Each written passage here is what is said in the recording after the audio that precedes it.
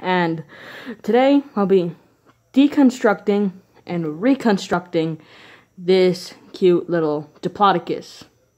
Because it's not in a not an Apatosaurus, not a Brachiosaurus, it's a Diplodocus. Get it right.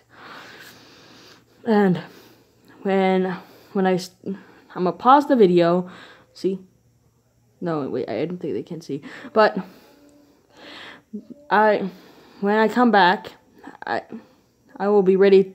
This will be deconstructed and ready to be put back together.